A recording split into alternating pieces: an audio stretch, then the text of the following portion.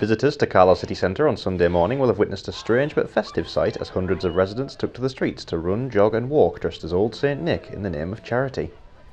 Well, for the fourth year running, we're um, organising the Carlisle Santa Dash. Um, we're raising money for the uh, Jigsaw charity at Eden Valley Hospice.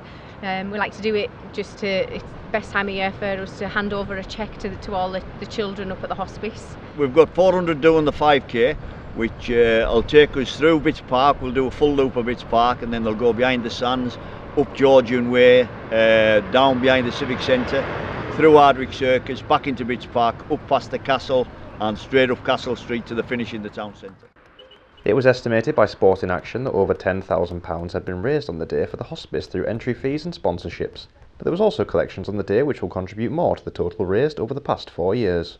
I think it's a time when people think more of, of children and obviously the children up there not very well and, so we just want them to feel look just to enjoy it a little bit more and if we can bring a little happiness to the kids who aren't who aren't well then you know that'll it's the best present you can give anybody. Oh it was absolutely fantastic. Yeah the, Mo the Moki girls did, did did us proud. And um, they got everybody warmed up ready to go um, and they'll be there to start the the next race as well. The event coincided with many Santa Dashes across the country, and the popularity of the occasion appears to be increasing with each year. Bigger this year than it has been before. We've sold out this year. We've actually had to put sold out because we, we, we're running out of Santa suits basically. Yeah, we need everybody to get a medal and a Santa suit, so we had to, it was sold out this year. We caught up with some of the runners ahead of the start of the Santa Dash 5k in Bitts Park to find out more about their reasons for taking part and why some had slightly modified their seasonal costumes. Santa Dash! Dashing! Running very slowly. Running very slowly and then eating racing- and racing drinking. money for a good cause. We've been to every one since it started in Carlisle.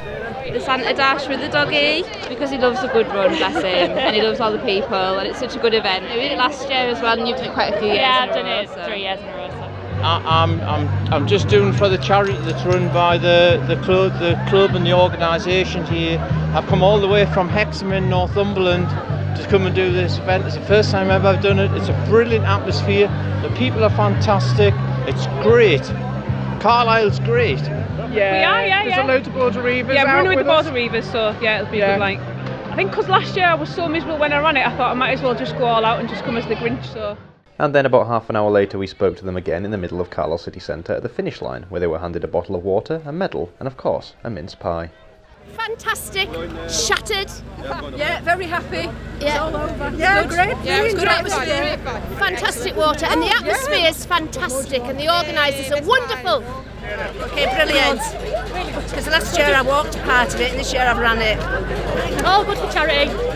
It was absolutely brilliant, loved it. Hundreds of Santas without any sacks because we couldn't carry the sacks today, but never mind.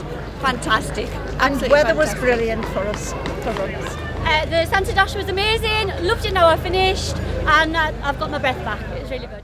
The Santa Dash raised money for a worthy cause close to Christmas time, but also provided a jolly sight for those standing along the route, clapping their hands, shouting encouragement, and sometimes a merry ho ho ho. Kira McFadgen, that's TV.